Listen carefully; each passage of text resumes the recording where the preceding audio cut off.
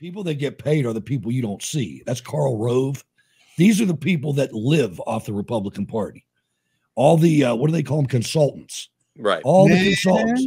They get paid by how many TV ads they run. It does. It Uh, doesn't matter who wins. Right. Karl Rove right now is basket. Karl He's Rove and um, who's his name? Newt. Uh, right now, they man, they are getting paid right now. You hear me? Yes. Yes, they are. And and it's only June, but they're getting paid right now. Um, and they never change tactics because it works so well No. for them, not for us. Yep. We lose six elections in a row, but they get richer and richer and richer, so they don't change anything. Ronna McDaniel's is at the flower store right now picking out flowers, you know, and, and and sending email lists and putting stuff in your mailbox, stuff that doesn't work that they don't change. yeah. I mean, how many how much Republican mail do you get every day during election season? Oh every my single god. God. day. Please. I mean, And- and- why don't you send an email or something? Well, they do that too, but Yeah. I hate throwing that stuff in the landfill. They ought to outlaw it. I wish that I could take them to court for filling up my email box. Because honestly, I hate that. somebody, somebody somewhere, these um, I mean, I, I'm I'm tired of seeing emails from people that I don't know anything about. I didn't sign up for that stuff, Right.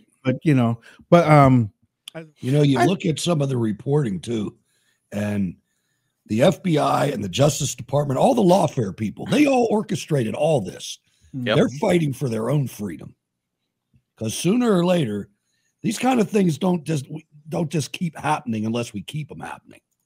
You know, at some point in time, somebody's going to be like the Armenian in California and say no more of this junk with our kids.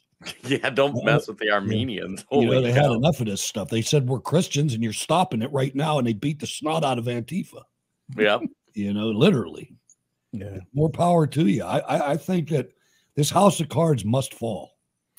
Well, and it's have- interesting right, because yeah, that's right. one of the things happening today is if you look Mayorkas, they're introducing uh, censure on or impeachment on him. Clay Higgins is. Um, they're going to censure uh, Bennie Thompson, the head of the January 6th committee. They're going to censure Adam Schiff. Uh, Chris Wray is supposed to get a whatever indictment for obstruction. So, I mean, it's nice to see that Republicans are actually finally doing something with the power they've got. I mean, let's see if anything comes of it. That's the thing.